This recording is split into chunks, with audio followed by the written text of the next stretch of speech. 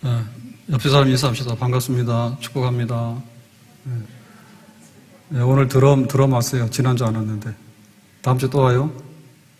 네. 지석이. 감사합니다. 와서. 자, 오늘 말씀 보겠는데요. 어, 지난 25일 밤, 수요일입니다. 네, 목양실에 있다가, 어, 26주년 창립주일 생각에 좀 정리를 하면 글을 쓰잖아요. 네, 글 쓰는 거는 정리 작업이거든요. 그래서 어, 앞에서 본 그걸 썼어요. 제가 쓴 겁니다. 26년이 어, 지났다. 무수한 세월들, 나는 그 많은 날들을 다 기억하지 못한다. 어, 유치원 지하실 교회, 2층 상가교회, 탄현동에 처음 세운 교회, 그리고 지금 예배 드리는 교회. 때로는 골짜기의 급류처럼, 때로는 한강처럼, 때로는 호수처럼 그렇게 시간은 흘러 26년이 지났다. 교회를 이전하고 교회를 건축하고 교회를 다시 건축하고 그날의 열정도 그날의 감격도 이제는 거의 사라졌다. 아이들은 청년이 되고 어른들은 천국 가고 많은 순례자들은 자기 삶의 자리로 떠나갔다. 아침에 피었다가 저녁에 시드는 꽃과 같이 한강 너머로 지는 붉은 일몰은 눈물나게 슬펐다. 호수공원의 추운 겨울밤도 코김은 뜨거웠다. 교회가 시험 들었다고 머리를 삭발했다. 원래는 코로나 바이러스로 예배가 위태롭다. 지금 여기에 서 있다. 예배당도 서 있다. 사랑하는 성도들도 함께 서 있다. 주님이 여기 계신다. 어제나 오늘이나 내일이나 영원하신 주님. 이 모든 것이 주님의 은혜입니다.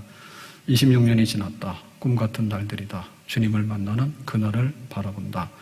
이제 이거를 쓰고 여러 가지 생각이 또 많이 났어요. 그래서 창립주일 앞두고 어, 다음 주 한 주간은 특별 새벽 기도회로 모여야 되겠다. 그러면 특별 새벽 기도회면 전 교인이 다 나오느냐? 다 못 나오도 좋다. 그래서 교회 나오실 분들은 나오시고 가급적이면 나오셔야 되겠죠. 그리고 이제 실시간 집에서 영상으로 어, 새벽 예배 함께 하시고 그것도 못 하시는 분들은 뭐 언제라도 시간 내서 리플레이 해서 같이 하고 그래서 한 주간을 기도로 지내면 좋겠다는 생각이 들었습니다. 그래서 그 결정을 해가지고 이제 급하게 또 긴급 광고를 냈죠. 없던 거였는데 어, 지금 가정마다 굉장히 어렵고요. 나라도 굉장히 어렵습니다. 또 교회도 굉장히 어렵습니다. 코로나가 지금 자꾸 단계가 이렇게 올라가가지고 굉장히 위태위태합니다. 그리고 한해 결산도 해야 되고 또 내년도 어, 준비도 해야 됩니다. 그러니까 창립주의는 핑계고 기도할 때다. 그래서 한 주간 교회 모이든 집에서 하든 일터에서 하든 간에 다음 주 한 주간은 기도로 힘써야 되겠다. 아멘. 그리고 이제 그 매일 성경 우리 큐티를 하는데 그거를 똑같이 하기는 좀 그렇잖아요. 그래서 급하게 어 이제 설교할 내용들을 메모를 했어요. 그래서 오늘 금요일은 원래 그 뭐죠? 니에메 하잖아요 우리가. 니에메를 안 하고 어, 환란 날에 나를 부르라 요구를 하기로 했는데 근데 사실은 제가 설교 준비를 미리미리 다 해놔가지고 예, 오늘 급하게 했어요. 오늘 오후에 급하게 해가지고요. 이거 했고 하는 겁니다 지금. 그리고 월요일 날 난이 두려워하지 말라. 화요일 날 에베네셀, 수요일 날 구름 기둥과 불 기둥으로 인도하신 하나님, 수요 예배 기도원의 364, 목요일 불순종과 거역은 그만하자. 금요일 하나님의 기적이 우리의 기적으로. 금요일 저녁 기도에 마기도냐 교회 헌신. 그 다음에 창립주일, 12월 6일 창립주일에는 두란노 소원에서 날마다 강론하니라. 요거 하려고. 그 다음에 창립주일 저녁에는 표대를 향하여 달려가노라. 이거는 사실은 준비할 예정이에요. 예, 이렇게 잡아놓는 거죠. 이제 준비를 다 해야 됩니다. 예, 늦게 결정을 했기 때문에. 어, 아무튼 간에 이제 좀 마음이 이제 들떴어요. 마음이 들뜨고 뭐든지 이렇게 손 놀라고 하면 한없이 놓는데 뭔가를 해야 되겠다 싶으면 또 할 게 너무너무 많더라고. 그래서 오늘 오후에 무슨 얘기 하다가 그러면 성탄 예배는 우리가 드리잖아요. 근데 24일 날 성탄 발표회는 하냐 안 하냐. 당연히 안 하는 걸로 생각하잖아요. 그래서 그것도 해야 되겠다. 그러면 애들 연습을 시켜가지고 여기다 끌어모을 거냐. 그건 아니다, 그죠? 그래서 24일 어, 날그 성탄 이브에 그 우리가 축가 발표를 했잖아요. 경건회라고 발표를 했잖아요. 그러니까 경건회는 뭐 한 사람이 모여도 되고 열 명이 모여도 되고 모이면 되는 거예요. 그래서 영상으로 해가지고 또 가정으로 보내면 어, 그거를 안 하면 24일 밤에 뭐 하겠어요? 가서 뭐 TV 보거나 엉뚱한 짓 하고 그러고 다니겠죠. 그래서 교회에 확 다 못 모이더라도 어, 집에서라도 어, 성탄 이브에 가족들이 경건하게 지내야 되겠다. 그러면 영상이라도 만들어서 내보내야 되겠다. 하라고 했어, 이제. 어떻게 할지는 몰라요. 예, 그렇게 해서 어, 영상으로 이제 발표회를 할 수 있는 대로 해봐라. 그거는 뭐 성이니까요. 할 수 있는 대로. 아무튼 하려 하니까 굉장히 할 게 많더라고. 예, 굉장히 할 게 많아요. 자, 그래서 이제 오늘 그, 저기, 어, 니에미아를 안 하고 혼란 날에 나를 부르라 이거 하게 된 거에 대해서는 지금 이제 이렇게 돼가지고 어, 오는 주일부터 기도해야 하고 창립주의를 하고 그리고 시대가 어려우니까 기도를 많이 해야 되겠다. 이제 이런 얘기를 어, 하게 된 거다 이 얘기입니다. 자 그래서 지금 첫 번째로 보면요 환란 날에 나를 부르라 했잖아요. 환란 날에 그러니까 지금은 환란 날이다. 동의하세요? 아멘. 지금 환란 날이죠. 지금이 좋은 날은 아니잖아요. 지금 환란 날이에요. 그리고 환란 날에는 뭐 하라고요? 예, 나를 부르라. 부르라고 하는 얘기는 찾으라는 얘기예요. 우리가 가장 다급한 순간에 누굴 찾습니까? 다급한 순간 되면 제일로 아끼고 사랑하고 귀한 분, 그리고 나에게 도움이 될 만한 분 찾잖아요. 뭐 아내가 됐든 남편이 됐든 아버지가 됐든 간에 엄마가 됐든 간에 자기가 환란 날을 딱 당했을 때 누구를 찾느냐 찾는다고요. 그래서 하나님을 찾으라고 해요. 그 여기서는 기도하라는 뜻입니다. 기도. 기도인데 성경에 보니까 야곱은 야복나루에서 어, 기도를 했어요. 형에서가 복수하기 위해서 오는 거예요. 군사 400인을 거느리고 20년 전에 야곱이 장자권을 뺏어가고 축복권을 뺏어가고 장자권을 뺏어가고 사기치고 도망간 거 그것 때문에 히스기야는 아수르 군대 18만 5천 명이 아, 예루살렘 성을 포위했습니다. 그래서 지금 죽게 생겼어. 그래서 환란 날에 하나님께 부르짖어 기도를 하게 되죠. 어, 지금 우리는 3차 코로나 유행이 몰려오고 있다 해가지고 벌써 하루에 확진자가 500명이 넘었어요. 근데 뭐 교회발, 광화문발 이거를 못하니까 지금 뭐라고 말을 못해. 근데 500명이면 엄청 많은 거예요. 예, 막 그, 뭐, 막 100명씩 무더기 무더기로 많이 나오거든요. 예, 엄청 많은 거예요. 그래서 어, 굉장히 위태로운 순간에 또 왔어, 우리가. 그러니까 지금은 그냥 있을 때가 아니라 기도를 해야 될 때예요. 기도를 해야 될 때예요. 환란 날이에요. 그럼 나라가 경제가 굉장히 어려워질 수 있고요. 더군다나 교회는 뭐냐면 교회가 어려워져요. 교회 어려워지는 것에 대해서 우리가 막아나가야 되거든요. 교회를 지켜나가야 된단 말이에요. 환란 날이란 말이에요, 지금. 그리고 영적 전쟁이 굉장히 심하다고요, 지금. 왜냐하면 우리가 그 몸으로 겪는 환란은 몸으로 막으면 돼요. 총알이 날라오면 총알 맞으면 돼요. 근데 영적인 거는 뭐냐면 영적으로 죽어버리면요. 영적으로 사망인 거예요. 그 영적 환란이 정말 우리에게는 위기예요. 그런 환란을 우리가 이겨나가야 된단 말입니다. 영적을 무장해서. 예, 다윗은 환란 날이 굉장히 많았는데 어떻게 표현하는가 하면 시편 18편에 이렇게 말합니다. 사망의 줄이, 줄이 나를 얽고 불의의 창수가 나를 두렵게 하였으니 그러니까 사망의 줄에 자기가 지금 이렇게 묶였다. 불의의 창수, 그 쏟아지는 범람한 홍수 있잖아요. 그게 꽉 자기에게 왔다. 자, 5절에 보니까 수월의 줄이 나를 두르고 수월이라고 하는 것은 죽음과 음부를 말하는 거죠. 그게 나를 두르고 사망의 올무가 내게 이르렀다. 사망이라는 게 와서 나를 올무로 꽉 올금했다 이죠. 이게 누가 당했다고요? 다윗이 당했어. 다윗이. 다윗이 이런 환란을 당했어요. 다윗은 환란 중에 여호와께 아뢰며 하나님께 부르짖었더니 그 믿음의 사람이 환란 중에 부르짖는 거예요. 다윗이 그렇게 편하게 살지 않았어요. 지금 우리가 환란을 겪고 있잖아요. 우리가 엄청나게 환란을 겪고 있다고 아니에요. 다윗이 엄청나게 환란을 많이 겪었어요. 그리고 보면은 어, 이런 사람은 세상에 세상이 감당하지 못한다 했죠. 그러니까 우리 앞에 있는 믿음의 사람들이요, 우리보다도 훨씬 더 험한 환란을 겪었다고. 근데 그때가 뭐냐면 부르짖어 하나님께 기도할 때. 자 다시 다윗으로 돌아가면요, 사울 왕에게 핍박을 받아 가지고 도망을 다녔죠. 그래서 뭐라 하냐면 사냥꾼의 올무에 걸린 새처럼.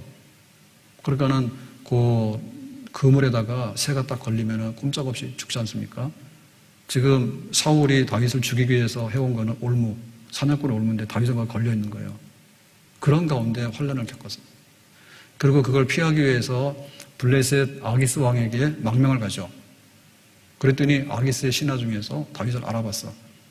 그래서 다윗이 자기 발로 아기스 왕의 블레셋 궁궐에 지금 들어간 거 아니에요. 그랬더니 자기 신분이 털러나가지고 거기서 뭐냐면 어, 즉흥적으로 미치광이 신용을 하죠.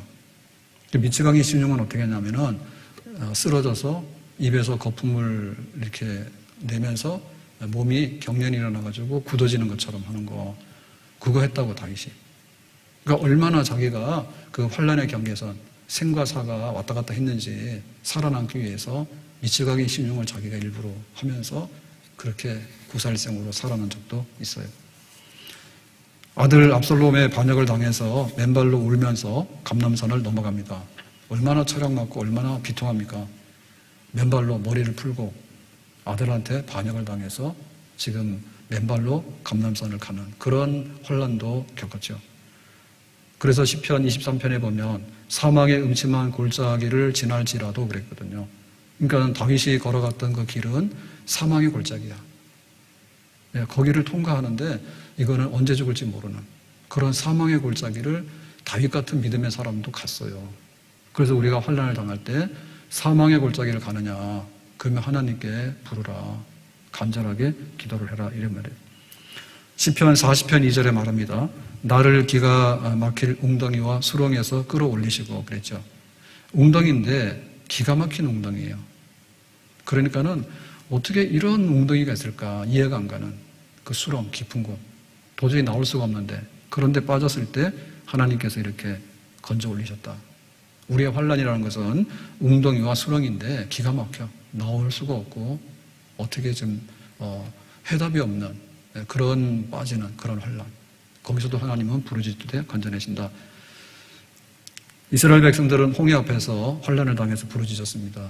우리가 죽게 생겼습니다. 그리고 이제 광야길을 가는데 양식이 없으니까 죽게 생겼습니다. 또 부르짖었죠. 그리고 또 광야길을 계속 가는데 마실 물이 없으니까 우리가 목말라 죽게 생겼습니다. 그리고 또 부르짖었죠. 그리고 전쟁이 나니까 우리가 힘이 없어서 죽게 생겼어요. 그리고 부르짖었잖아요. 그러니까 그 광야길을 40년 동안 가는 동안에 한 번도 죽지 않을 상황은 없었어. 배고파 죽든지, 목말라 죽든지, 전쟁 나서 죽든지, 길이 험해서 죽든지, 병 나서 죽든지, 어쨌든 간에 다 죽음의 골짜기를 광야 40년을 지나는 동안에 하나님께 얼마나 많이 부러지셨겠는가. 그러면 지금 우리에게 있어서 필요한 건 뭡니까? 지금 우리에게 있어서 필요한 것은요, 부르짖는 겁니다. 그러니까 우리의 환란의 정도가 문제가 아니고요, 부르짖는 게 문제예요. 어, 우리는 좀 편하게 살게 해주세요. 라고 하고 있는데, 아니, 그것 말고 부르짖어라, 이게야.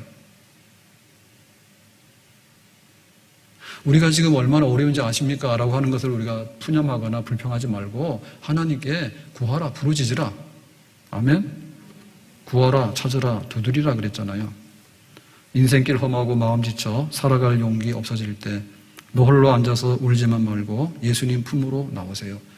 그러니까 우리가 마음이 지치고 가는 길이 험하고라고 할 때 거기서 주저앉지 말고 하나님께서 원하는 것은 나를 부르라. 기도해서 나를 찾으라. 그런 얘기입니다. 야곱이 야복나루에서 기도를 하다가 환도뼈가 부러지잖아요. 그러면 야곱은 평생 장애인이요. 고관절이 부러져가지고 장애인으로 살았다고. 그게 뭐냐면 기도하는 걸음으로 산 거죠. 그러니까 야곱의 후손은 뭐예요? 기도하는 후손인데 기도하는 흔적을 가지고 있는 거예요. 이 사람은 걸어가는데 항상 기도 속에서 걸어가는 거예요. 병이 와도 병을 이기기 위해서 기도하고 가난이 오더라도 가난을 이기기 위해서 기도하고 그 다음에 또 이렇게 억울한 일을 당하더라도 또 기도함으로 그걸 이겨나가고 하여튼 간에 살아가는 걸 보면 저 사람의 특징은 뭐냐면 사람마다 발걸음이 있거든요. 족적이 있습니다, 족적이. 근데 발 크기도 다 다를 뿐만 아니라 이 걷는 모양이 있어요. 그래서 언젠가 TV 보니까 가더라고. 그 살인 이제 죄를 저질러 가지고 어 이게 잡혀가지고 이제 재판을 받고 있는 거예요. 그래가지고 이제 살인에다 해가지고 이제 형을 살고 있는데 이쪽에서는 자꾸 자기가 그 범인이 아니라 얘기하는 거야. 그랬더니 이제 경찰이나 이쪽에서 기소한 쪽에서는요, 이 진범이 맞다고. 근데 여러 가지가 있잖아요. 뭐 DNA 검사라는 여러 가지가 있잖아요. 근데 보니까 굉장히 과학적인 것 중에 하나가 그 사람의 걷는 모양이 있죠. CCTV에 그게 찍힌 거예요. 걷는 모습. 얼굴은 안 찍혔는데 CCTV에 쫙 가는데 뒤에서 걷는 발걸음의 모양이 있는데요. 그거를 이제 분석을 해가지고 하니까 사람마다 이 걸음이 다 달라요. 그 걷는 습관이 있는데 잘안 보이는데 정밀하게 그거를 확대시켜서 이렇게 해서 보니까요. 그 사람의 각도가 어떻게 되고 이게 몸이 어느 정도 흔들리게 있는데 이게 지문과 같이 사람마다 다 다르대. 그래서 그것도 법적인 증거 능력이 있다. 이런 얘기 하더라고. 그러니까 우리가 혼란 많은 세상에 살고 있는데 우리가 어쨌든 간에 걸어가는 모습 중에 뭐냐면 이 사람의 비밀은 기도하는 거예요.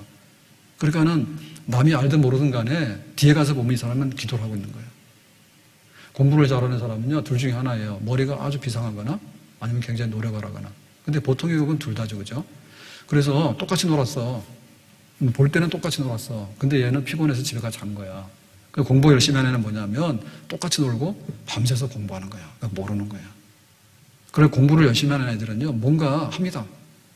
뭔가 합니다. 그게 이제 하나의 특징이에요.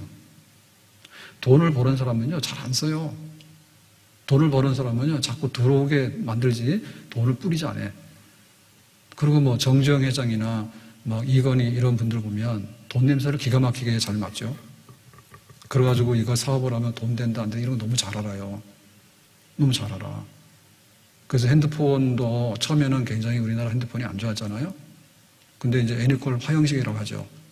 예, 불량품이 막 나오니까 구미공장에 모여가지고 이건희 회장 때요. 핸드폰 다 갖다 쌓아놓고는 불질렀다고. 그때 태운 게 뭐 5억 원어치인가 그래. 그래가지고는 이제 품질 저거 1등 해야 된다고. 세계 1등 하려면 품질 1등 해야 된다고. 이제 이런 말이거든요.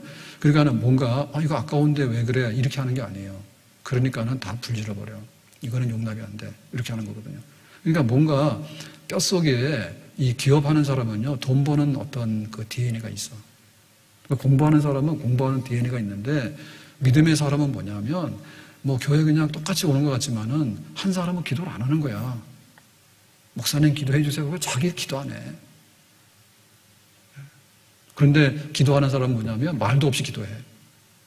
그 돌아가면 있다니까요. 뼛속 깊이 이게 기도가 발걸음에 자기 삶 속에 묻혀 있는 사람하고 그렇지 않은 사람하고 차이가 있다 그죠.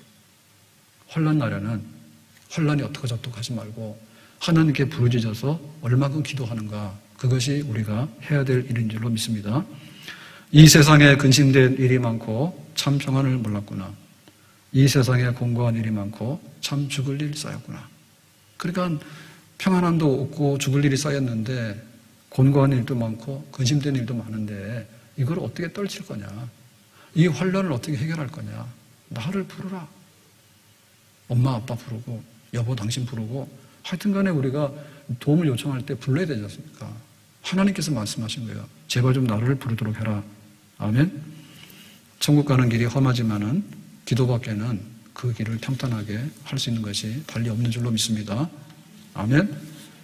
그래서 우리가 이게 경건의 모양이 있는 사람이냐, 경건의 능력이 있는 사람 차이가 있는 거예요. 하나님께 나와서 내가 물질로 섬기고 하는 거 굉장히 귀한 겁니다. 근데 그것보다 더 귀한 건 뭐냐면 나를 찾는 거예요. 내가 와서 의당 예배를 드릴게요. 나 의무 다 했습니다. 뭐 잘한 거죠.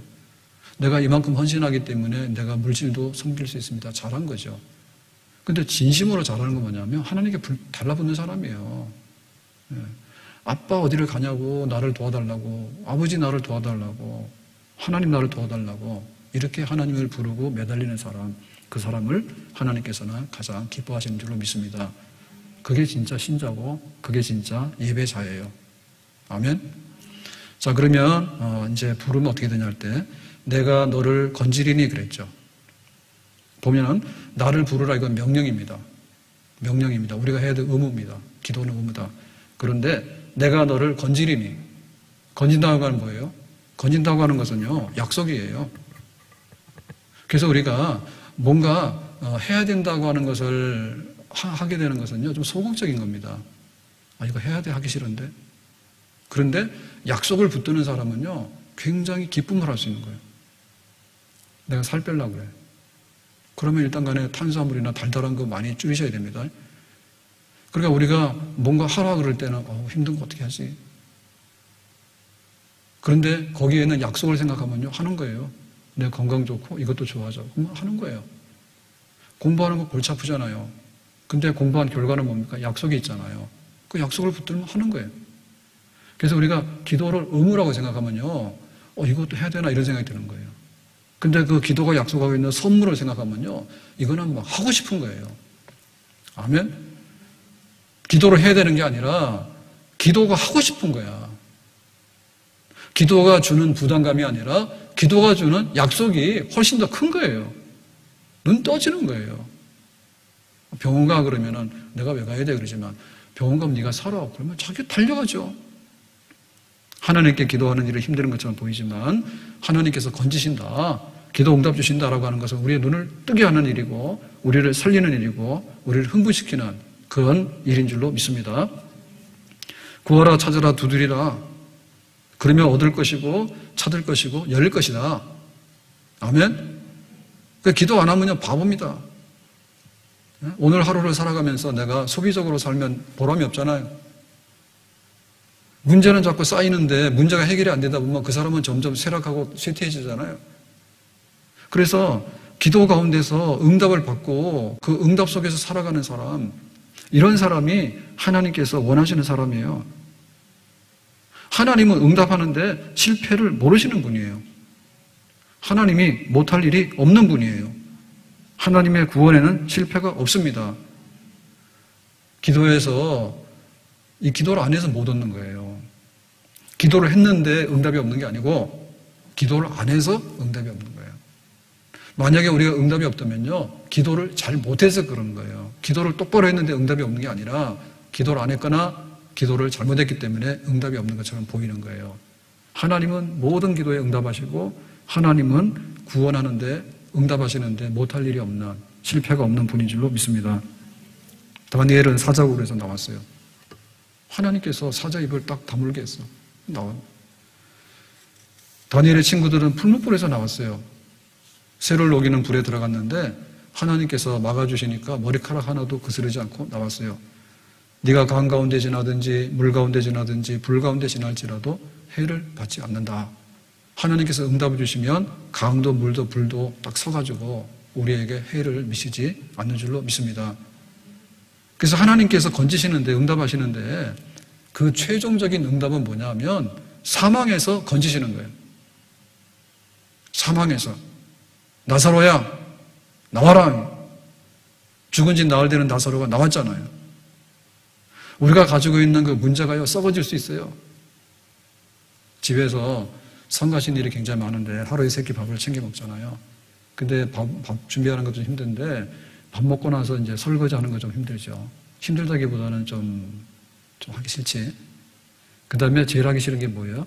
쓰레기 뒷정리해가지고 갖다 버리는 거, 음식 쓰레기 버리는 거 싫죠? 분리수거는 할만합니다. 네, 일주일에 한번 같다니까. 근데 뭐, 그 음식 쓰레기도 요만큼밖에 없는데 양파꽃이 벗겼는데 무슨 냄새가 나는가. 그런데 기어이 갖다 버리라는 거야. 그러면 들고 나가지 어떻게. 하기 싫지. 썩어서 그렇게 썩어서. 그러니까 우리가 안고 있는 문제는요, 나중에요, 병이 심해지면 썩어버려. 못 고친대. 경제적으로 우리가 어려워지면요, 나중에 썩어버려. 완전 파산이야. 파산이에요.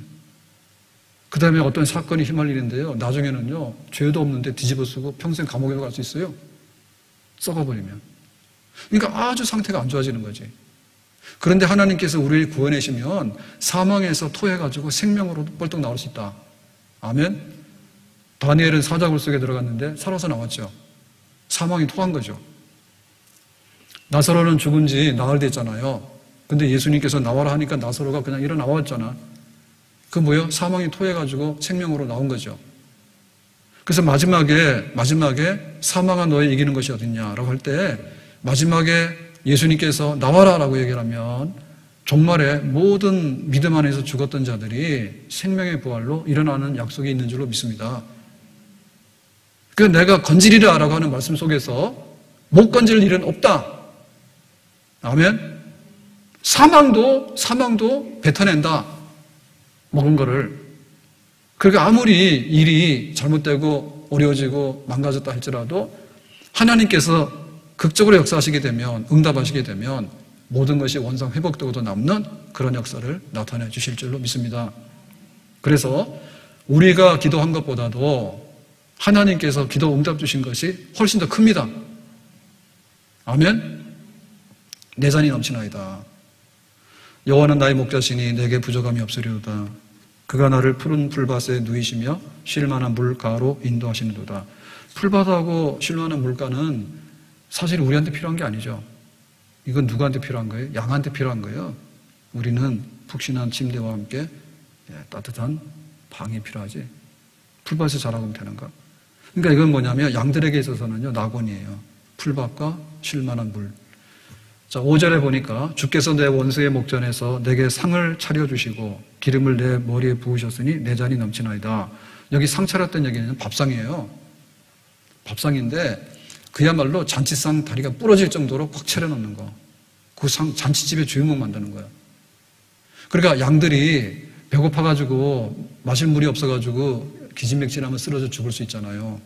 근데 목자가 잘 데리고 가가지고 푸른 풀밭과 쉴만한 물가로 가서 잘 먹였어. 배부르지. 그 다음에 우리가 끼니가 없어가지고 막 허기지고 배고픈데 잔치집에 초대해가지고 상을 차려가지고는 주인공으로 갖다 앉혀놓고는 더군다나 손님을 환영할 때는 기름을 머리에 붓거든요. 이 사람이 주인이라고. 환영한다고. 어, 그러니까 그 내전이 넘치는 거죠. 그러니까 하나님 과분한 은혜예요. 우리가 부르짖어 기도하게 되면 요만큼 기도했는데 하나님께서 요만큼 주는 게 아니고 우리가 많이 주면은 요만큼 가져가면 요만큼 주는 거예요. 그죠? 그래서 1대1로 물물 교환하면 공평한 교환이에요. 대개의 경우는 손해보는 경우가 많죠. 예, 내가 이만큼 종자실을 넣었는데 소출이 얼마 안 돼가지고 손해를 보고 내가 사업한다고 가게 문을 열었는데 이게 영업이 잘 안 돼가지고 손해를 보고 10개 시작하면 한두 개 살아남지 잘 안 되잖아요 다. 그러니까는 은행에다가 이자를 딱 넣었는데 이자만큼 나오고 이건 1대1이거든요.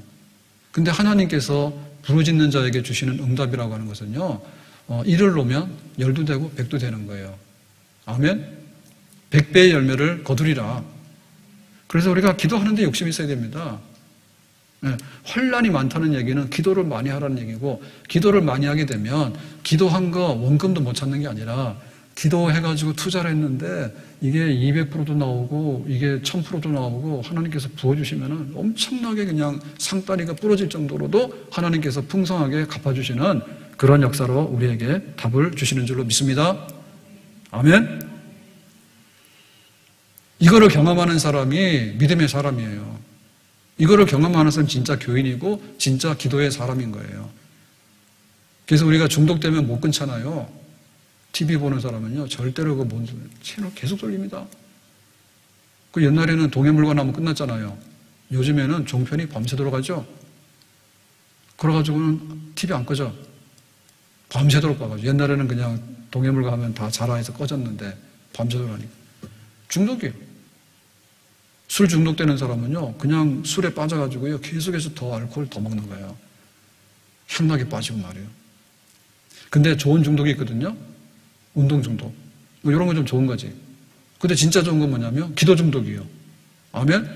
그 기도를 해서 하나로 하면 10개가 나오고 10개가 나오고 100개가 나오고 하나님께서 얼마나 많이 주시는데 부르라 그러면 내가 응답해 주시겠다. 이 하나님의 기도의 응답을 받는 사람은 정말 기도 가운데서 배가 부르고 그 가운데 풍성한 것을 경험하게 되는 줄로 믿습니다. 그래서 이제 그 오늘 혼란 얘기 중에는 사실은 교회 얘기를 좀 하려고 했던 겁니다.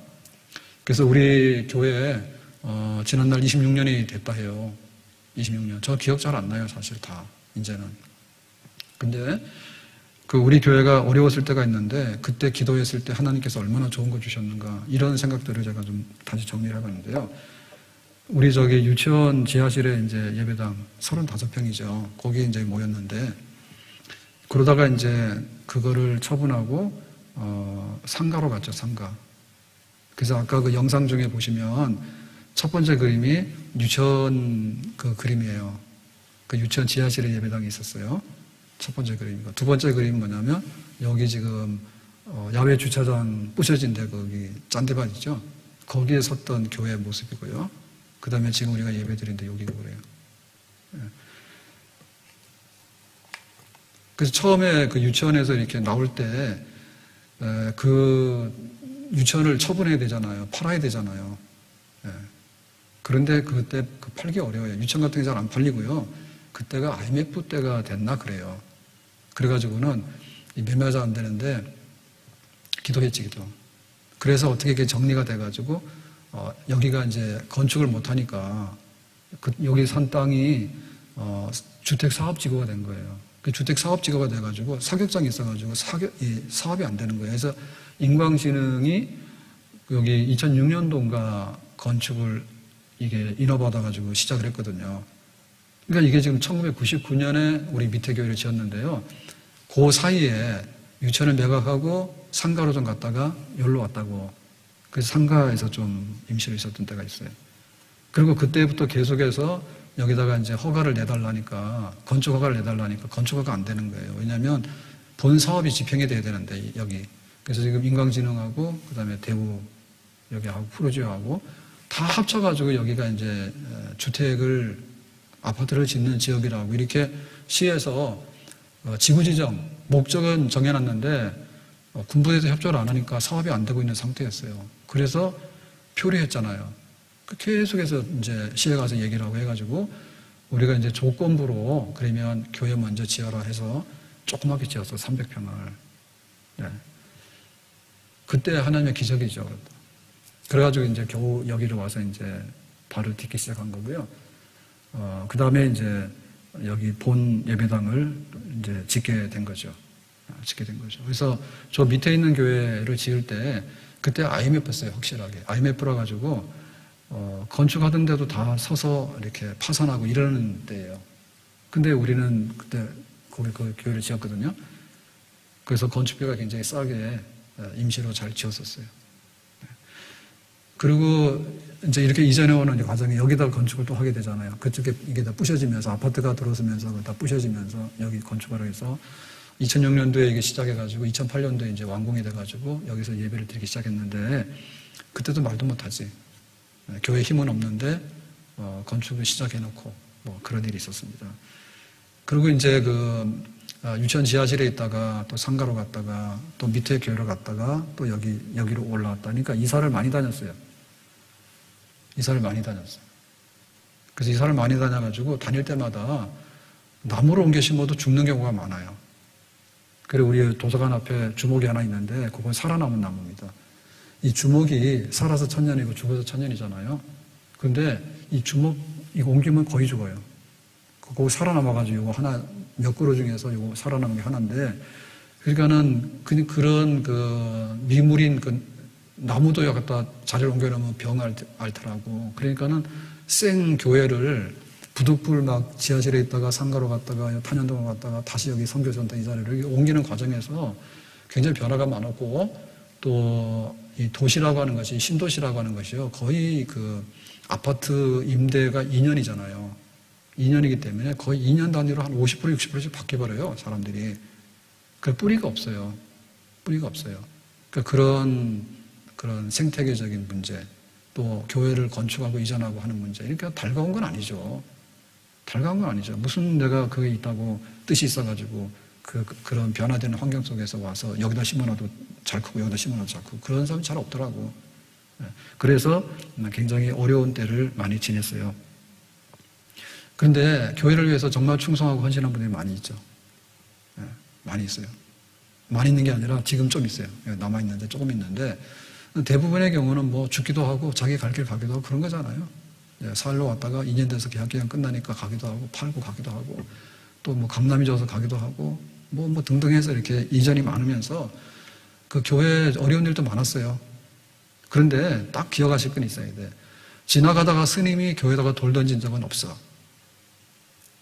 예? 지나가다가 스님이 교회 들어온 적도 없지만은 밥 먹으러 왔었죠, 우리. 여기 앞 만나보러 식당 할 때는 스님도 와서 밥을 드셨어. 그랬는데 그런 분들이 와가지고 교회에 대해서 비난하거나 험담하는 건 없어. 뭘 알아야지 하지. 그리고 워낙에 자비심이 많아가지고요. 남 험담 잘 안 합니다. 그런데 교인들, 우리 교회 나왔던 교인들 중에 험담하고 돌던 사람 있었어. 동네 다른 교회 나가는 분들이 교회에 대해서 험담하고 뒷담화하는 사람들 있었어요. 다 지나간 얘기예요. 환란 날이 심했단 말이죠. 그래서 앞에 저 쓴글 그 중에서요 이런 게 있습니다. 한강 너머로 지는 붉은 일몰은 눈물나게 슬펐다. 그냥 이건 내 마음대로 쓴 겁니다. 내 마음대로 쓴 건데 제가 싫어하는 것 중에서요 일몰 좋아하시는 분들이 있거든요. 일몰 아, 멋있다고 성모도 일몰이 멋있다고. 근데 그에 못지않는 게 이 한강 너머로 넘어가는 일몰도 일산에서 괜찮습니다. 고봉산 가서요, 이렇게 한강 너머로 넘어가는 거 보면요, 굉장히 경치 괜찮아요. 근데 저는 그거 싫어요. 예, 사연이 그렇기 때문에. 지하철 갔다, 상가 갔다가, 여가 갔다, 시험 당해가지고, 막 이러는데, 저 해지는 한강 너머 일몰을 보면은, 예, 좀안 좋지. 정발산에 가서도 잘 보이고, 고봉산 가서도 보이는데, 안 좋아. 그래서 저보고 일몰 좋다는 사람은 눈치도 없는 사람이에요. 저 앞에 와서 일몰 얘기하지 마세요. 그 다음에 호수공원의 추운 겨울밤도 코끼면 뜨거웠다. 이거는 교회 어려우니까 화병이 나 가지고 화병이 나 가지고 열받아 가지고 그 불안한 거지 불안한 거지 잠도 안 오는데 할 게 뭐 있어요. 그래가지고는 호수공원 가면 얼음이 꽝꽝 얼잖아요 겨울에 그러면은 온도가 몇 도 차이 납니다. 호수가 얼어붙잖아요. 그러면 그 주변이 더 추워요. 그 지나가잖아요. 그러면 막 속에서 이제 어, 열이 올라오는 거지. 그래가지고 이제 코끼리 뜨거웠다. 해설을 하면 그렇다고 말입니다. 그래서 호수공원에 밤에 가면은 멋있다 이런 말씀하시는 분들은 정말 눈치 없는 분이에요. 저한테 그런 얘기 하지 마세요. 교회가 시험 들었다고 머리를 삭발했다. 이거 누가 했느냐? 제가 한 거예요. 교회 처음에 우리 뭐 어떻게 해야 되냐 막 이런 거 했을 때 뭐 안 되잖아요 잘.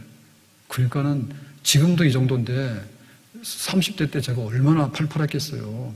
그냥 이발소 가서 머리 밀어 그랬다니까. 그랬더니 이발하는 아저씨 그러는 거예요. 진짜예요? 그러더라고. 진짜라고. 어떻게 하냐. 분인머리를 하라고. 그치, 진짜예요? 그러더라고. 그랬더니 두 번이나 하니까 그냥 확 밀대. 그러고 교회 나타났잖아요. 그랬더니 뭐라 그래요? 목사님 그게 뭐냐고. 그렇게 해가지고 험악해가지고 오면은 말이에요. 교회 분위기가 다 싸늘하다고 말이에요. 그런 얘기를 막 들었다고. 근데 지나고 보니까 우리가 싸늘했던 거, 추웠던 거, 혹은 제가 실수했던 거 이런 것보다도 하나님이 기도 응답해가지고 들어주신 게 100배 많은 것 같아요. 아멘? 기도한다고 했지만은 기도를 많이 해서 그런 게 아니라 더불어 많이 주신 것 같아. 기도하면 얼마나 했겠어요? 아무것도 없었는데. 말이 그러지 그 유치원 지하실도요, 완전히 빚내서 들어간 겁니다. 뭔 돈이 있어요? 그래가지고 저는 기억 못하는데 우리 집사람 다 기억해. 참 나빠요. 저러니까 머리가 아프지. 그런 막, 그, 막, 대출 받은 게 어떻게 되고, 뭐가 어떻게 되고, 막 그런 걸 다 알고 있다고. 제발 좀 잊어버리는데요. 말 안 들어요. 그래서 왜 그러냐 했더니, 안 지워지는데 어떻게 하냐. 맞아야지 지워질 것 같아요. 지금 여기 서 있다, 교회가 서 있다, 성도들이 서 있다, 라고 얘기를 했는데요. 죽지 않고 산 게 은혜입니다. 환란 날이 심했는데, 기도는 하긴 했지. 그래서 교회 어려울 때 우리 고령산 기도원이라고 저쪽에 서울에 그 우리 노예 기도원이 있었어요. 교회 기도원이 거기 있었는데 거기 꽤 자주 갔어요. 그래가지고 그때 불렀던 찬송이 뭐냐면 어, 예수의 이름으로 나는 일어서리라. 그거 많이 불렀다. 예, 너무나 교회가 주저앉아가지고요.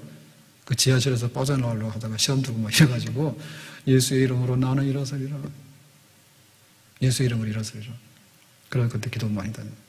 그래서 여기 지금 서 있다라는 말은 그때 기억이 나더라고. 교회 지하실에서 그냥 엎어져가지고. 그리고 여기 와서도 그러고, 여기 와서도 그러고, 정말 지나가는 스님은요, 정말 해코지 안 하더라고. 근데 알만한 사람이 그렇게 해코지 하더만. 마음 아프게 하고. 예. 근데 엎어져야 되는데 의인은 일곱 번 넘어져도 여덟 번째 뭐 한다고요? 일어나더라. 아멘? 바울이 루스드라에서 복음 전하다가 돌 맞았잖아요. 그러니까 이건 죽으라고 치는 돌이에요. 사형 집행한 돌이야. 근데 죽은 줄 알고 던졌더니 바울이 뻘떡 일어났잖아요. 서 있더라. 하나님의 은혜로. 아멘? 그래서 우리 교회가 지금 서 있는 거는 저는 개인적으로 그렇게 생각해요. 어, 내가 안 죽은 건 하나님 은혜 아닐까? 어, 시달린 거 생각하면요. 살아있는 게 용한 것 같아. 살아있는 게 용한 것 같아. 그렇게 안 보여요? 그 오늘 이거 오후에 그 영상을 해가지고 이 광고성이잖아요. 광고성이니까 오늘은 뭐 오늘은 금요일이고 내일은 토요일이고 이게 아니고 지금 창립주일도 다가오고 아까 말씀드렸지만 뭐 창립주일은 뭡니까? 그러니까 지금이 환란 날이니까 기도도 많이 해야 되고 연말에 결산돼야 되고 좀 마음이 새로워져야 되겠다. 또 코로나 3차 대응해가지고 교회 문 닫으라 그러면 그런 것도 생각이 나잖아요. 그래서 이제 광고성으로 해서 이제 이거를 썼고 이제 보내라 한 거예요. 그래서 영상 해가지고 오늘 카톡으로 해서 보냈는데 다 받아보셨죠? 아멘? 그러니까 우리가 그 기도한 내용보다도 하나님이 부어주신 은혜가 많다. 그랬더니 아무런 답이 없더라고. 뭐 답할 이유도 없고요. 답장이 왔어. 교회에서 보내는 거 말고 제가 이제 우리 집 식구들한테 보냈거든요. 그랬더니 누가 답장을 했느냐. 예, 저희 집 사람이 답장을 했어. 그 영상 보고 눈물 났다고. 그래서 우리는 그게 문제라고. 왜 우리 둘이만 눈물 나냐고. 감동받을 사람들이 감동을 받아야 되는데, 우리끼리 감동받으면 뭐하냐고. 그랬더니, 어, 감동받았다고. 왜? 같이 경험했기 때문에 그걸 읽으면은 아는 사람은 저희 집 사람이나 알지, 딴 사람 모를 거예요. 호수공원에 밤이 추웠는데 왜 콧김이 뜨거웠는지. 네? 왜저 저녁에 아, 노을 지는 한강 너머에 석양 일몰이 아름답다 그러는데 사진 막 찍습니다, 지금도. 후곡마을 육교에 가면요, 그 일몰하는데 해가 빨가면요, 거기 서 서 막 사진을 찍어, 기념사진을. 나는 쳐다도 안 봐. 왜 해지는 건 너무 징그러워. 안 좋아. 그러니까 하나님 은혜가 너무 크다, 그 말이에요. 그래서 오늘 우리 교회다 모이든 안 모이든 간에 예, 영상 해가지고 또 이제 성도들이 많이 볼 텐데, 어, 교회가 어떻게 지내왔는가. 그거는 우리 교회 자랑이 아니라 하나님 은혜 자랑입니다. 아멘? 그리고 우리가 살아가면서 힘들다 힘들다 하지만 은혜 주시면 우리가 풍성한 삶의 마지막을 누리게 될 줄로 믿습니다. 시작은 미약하지만은 결말은 심히 창대하다. 그리 될 줄로 믿습니다. 근데 거꾸로 가면요. 심히 창대한데 마지막에서는 아무것도 못 건지는 거예요. 영혼이 어디를 갈지 몰라. 예, 치매가 겁나는 게 아니라요. 그 마지막에 영혼이 어디 갈지 몰라. 불안한 영혼들, 불쌍한 영혼들. 그러나 우리가 천국 가는 영혼이 된다면 우리의 결말은 참으로 아름답고 귀한 줄로 믿습니다. 주님께서 이기신다. 네, 환란 날을 정말로 환란이 없는 날로 바꾸신다. 그래서 우리 어, 국가를 보고 나라를 보더라도 지금 세상은 무신론이에요. 그러니까 우리는 하나님주의예요. 이 둘이 지금 충돌하고 있는 거예요.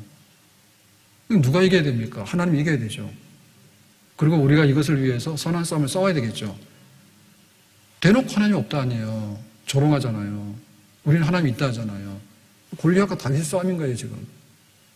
그리고 지금 어, 세상에서는요, 뭐 사회주의 이렇게 해가지고요, 우리가 좋은 세상을 만들겠는데 이 법과 제도를 가지고 성분 안 좋은 사람 다 쳐내겠다 그거예요. 그게 뭐든지 개혁인 거예요. 뭐든지 적폐인 거예요. 적폐 잘라내고 우리가 하는 것은 개혁이고 그렇게 하는데 이념이거든 이념. 그것은 이념보다도 더 중요한 것이 뭐냐면 하나님이 어떻게 여기에 임하는가가 더 중요한 줄로 믿습니다. 이념의 나라가 되는 것은요. 하나님의 나라하고 적대적으로 해가지고요. 하나님 나라가 이겨야 돼. 아멘? 그리고 지금 어, 반기독교와 기독교의 전선이 딱 서 있어요. 그러니까 너 교회 다니니? 그럼 뭔가 좀 이렇게 모자라고 나쁜 사람처럼 이렇게 하고요. 코로나가 똑같이 일어났다 하더라도요. 교회에서 일어나면 그 봐라 그거예요. 근데 나이트나 이런 막그 어, 에어로빅 하는 데서 이런 데서 일어나잖아요. 그러면 그냥 말 안 해. 그러니까 반기독교적인 음? 기독교에 대한 안티적인 것들이 굉장히 많은데 그 싸움이 지금 벌어지고 있는 거야. 환란 날이에요.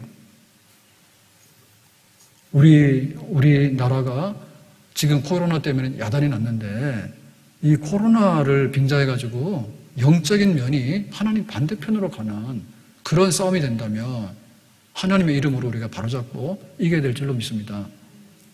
환란 날에 나를 부르라. 그러면 내가 구하고 응답해 주시겠다. 그래서 마지막에 하나님께서 이렇게 선포하셨는데요. 자, 15절 말씀 보면 이럽니다. 네가 나를 뭐 한다고요? 영화롭게 하리라. 하나님께 영광을 돌린다. 뭐 하면요? 환란 날에 하나님을 불러서 기도하게 되면 하나님의 영광이 드러난다. 하나님의 영광이 높아진다. 그러니까 우리가 기도하는 것 자체로 우리가 하나님을 부르는 것 자체로 하나님의 영광을 올라가는 거예요. 아멘? 우리가 하나님께 영광을 어떻게 돌리느냐? 하나님의 이름을 부르는 것 자체가 하나님께 영광을 돌리는 거예요. 어려운 일 당하니까 몰라요. 교회 안 나올래요. 기도 안 할래요. 요거는 하나님의 영광을 땅에다 묻어버리는 거예요. 구하고 찾고 두드리고 하나님께 더 가까이 나가고 하나님의 이름을 부르고 그거 자체로서 기도하는 사람들이 서너 사람이 모이고 기도하는 교회가 모이고 하나님을 찾고 가서 막 대문은 연락이 합니다. 몇천 명, 막 백만 명이 모여가지고요. 막 이래라 저래라 막 해요.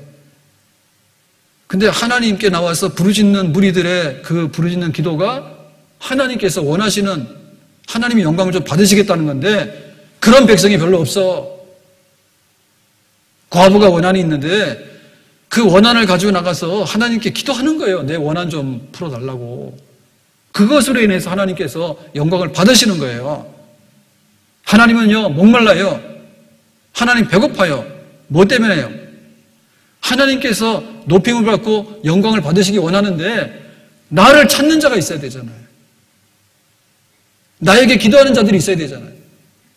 나를 구하는 자들이 있어야 되잖아요. 하나님께서 영광을 받으시고 싶다니까. 어떻게 우리가 하나님께 영광을 돌리냐? 진심으로 가장 어려울 때 하나님 앞에 와서 엎드리는 사람이 하나님 마음에 가장 합당한 사람이고 하나님께서 가장 기뻐하는 영광 받으시는 백성인 줄로 믿습니다. 기도가 응답되든 안 되든 간에 무릎 꿇고 하나님 앞에 서 있다고 하는 것 자체로서 하나님께서는 영광을 받으시는 거예요. 아멘? 세상에 대해서 교회는 겸손해야 되겠죠. 그런데 우리가 더 겸손하겠습니다. 더 낮아지고 조심하겠습니다. 라고 세상에 대해서는 싹싹 빌더만 뭘 그렇게 해먹이 많나? 코로나 때문에 교회가 그랬지. 그러니까는 현수막 내거라 싹싹 빌더만 총회장이 나와가지고 세상과 소통이 좀 잘못된 것 같습니다. 잘 봐주세요. 앞으로는 안 그럴 거예요. 싹싹 빌더만 왜 그래요? 아, 그 정성 가지고 교회가 모여서 전국 교회가 코로나 퇴치를 위해서 금식기도 한번 선포해봐라. 우리가 3단계로 갑니다. 지금 유행으로 가고 있습니다. 지금 3차 유행으로 가고 있습니다. 그러면은 교회에서 해야 될 건 뭐예요? 그러면 기도에 3, 3차 유행 기도 이렇게 해야 되겠네. 부족한 거는 기도 부족한 것밖에 더 있습니까, 우리가? 하나님 보실 때 제일 못한 게 뭘까요? 니들이 그렇게 어려운데 왜 나에게 대해서 그렇게 안 찾니? 내가 영광을 좀 받으시고 싶은데 어떻게 코로나 시대가 됐는데도 코로나 무서워서 벌벌 미면서 하나님께 나와서 은혜를 구하는 것은 아니야 그게. 그만 기도하는데 모여가지고 마스크 풀고 밥 먹고 침 튀기는 게 기도입니까? 누가 그렇게 무식하게 기도해요? 그렇게는 안 하지. 아, 마스크 쓰고 하고 혼자 하고 그렇게 하지. 그거는 방법이 문제잖아요. 중요한 건 뭐예요? 기도잖아요. 부르짖어야지 하나님께서 영광을 받으시겠다는데 좀 하나님 배고파. 그런데 교회가 모여가지고, 그럼 우리 교회 예배 안 드릴게요. 그럼 우리 기도 안 할게요. 그러면 세상 사람 들어가서 교회 좀 믿게 봤으면 교회 좀 잘 봐주세요. 아니, 우리가 뭘 그렇게 잘못했냐고. 네? 하나님께 기도하는 게 잘못이지. 하나님께 영광을 돌려야 되는데 그 영광을 못 돌리는 게 우리의 부족함이지. 그것부터 먼저 회개해야 되겠죠. 아멘? 내가 좀 영광 받으시고 싶은데 환란 날에 나를 부르는 모습을 통해서 내가 좀 영광을 얻고 싶단 말입니다. 하나님이 오늘 제가 오전에 아, 점심 먹고 점심 먹고 바로 커피를 샀어요. 그러니까 오늘은 혼자 먹었어요. 근데 커피를 사러 가도 그렇더라고. 이게 매일 가면 눈치 보이나? 아, 내가 내 돈을 내지만은 예, 매일 가는 게 좀, 좀 그렇게, 좀 그런 게 있잖아요. 그래서 가급적이면 커피 사오라 뭐 이렇게 시키기도 하고 그러는데. 아, 근데 우리가 세상적으로 볼 때, 뭐 어디 가서 노출이 많고, 그 다음에 세상적으로 하는 게 많고 이럴 때 좀 그렇잖아요, 우리가. 무슨 뭐, 뭐에 중독된 사람이기 전에는. 근데 정말 하나님께서 네? 커피 마시고 싶은 사람은요, 어쨌든 간에 커피 사러 쫄쫄 가더라고. 음? 그래서 봤더니 요새 세상 복잡합니다. 네, 커피도 말이에요, 그, 배달 전문으로 하는 커피가 있는가 봐. 거기는 어, 매장에 가면 커피 안 판대. 그리고 테이크아웃도 안 한대. 거기는 그 배달만 전문을 한대요. 15,000원 이상 주문하게 되면 배달비 3,000원. 그러니까 최소한 18,000원을 결제해야지 커피를 배달해주는 집이 있는데 어, 그런 것도 먹는가 봐. 하나님은 뭘 원하시냐면 봐라 너 커피 좋아하지. 그러니까 날마다 커피집 가거나 일주일에 몇 번은 가잖아요. 술 좋아하는 사람은요 술집 갑니다. 영화 좋아하는 사람은 영화 보러 가고요. 집에서요 유료 해가지고요 영화 많이 볼 거야 아마. 그런데 하나님께서 환란 날에 나를 구하라, 나를 부르라, 내가 영광 받는다. 하나님께서 목말라시잖아요. 지금 환란 날이 아니면 언제가 환란 날입니까?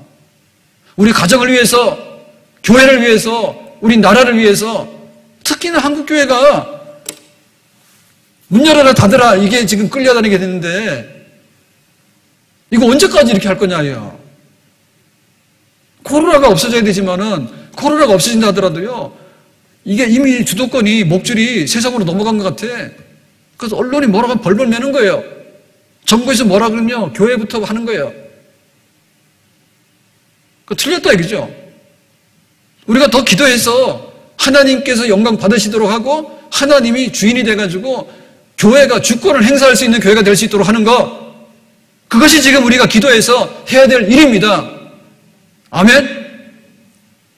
정부에서는요, 대책이 없어요. 부들부들 떨어요. 어, 이거 2단계, 2.5단계, 3단계 가면 경제가 폭망하는 거 아닌가. 겁나서 못한다고. 근데 우리는 뭐예요? 하나님, 코로나도 없어지게 해주시고, 경제도 살게 해주시고, 아, 우리가 기도하면 안 될까? 아멘? 어떻게 교회가, 어, 니네 기도 좀 하지 마. 예배 좀 모이지 마. 알았어요. 가서 앉아있다가. 그래서 강아지 불러냅니까? 야, 너 저리 가 있어. 그러면 개집에 들어가 있다가. 나가 그러면 주인이 나와 그래서 재롱 떨어. 그 나가 재롱 떨고. 교회가 그런데요? 교회가 주체성이 있어야 되겠지. 우리가 구해서 은혜 받으면 코로나 백신이 빨리 나오고 치료제 빨리 나오고 코로나가 그냥 없어지면 되잖아. 아멘? 정부에서 할수 있어 없어요? 못하지. 왜냐하면 하나님을 안 믿으니까. 그래서 우리는 하나님 믿기 때문에 우리가 새로운 세상을 만드는데 지금 백신 경쟁하는데 1등 누가 하느냐 그게 야단이거든요. 치료제 1등 누가 하느냐 그게 야단이거든요. 그러면 우리나라가 방역을 잘해가지고 뭐 코로나를 빨리 벗어난 나라가 되기를 원하는 게 바라는 각 나라가 다 그거 아닙니까? 그런데 하나님의 이름으로 그거 하는 데 있어서 교회가 앞장서면 안 돼요? 교회는 나가니까 깍두기입니까? 니네 나가! 그러면 나가고. 세상 우리가 잔치상 벌려놨으니까 예배드리고 싶으면 예배드려 문 열어주고. 뭐야 이게? 그러니까 그건 우리의 탓이에요 우리의 탓. 어? 세상이 그렇게 해서 그걸 원망하기 전에 우리 탓이라고. 아멘? 그래서 하나님께서 영광 받으시는데 우리가 기도하게 되면 정말 다윗이 골리앗을 이긴 것처럼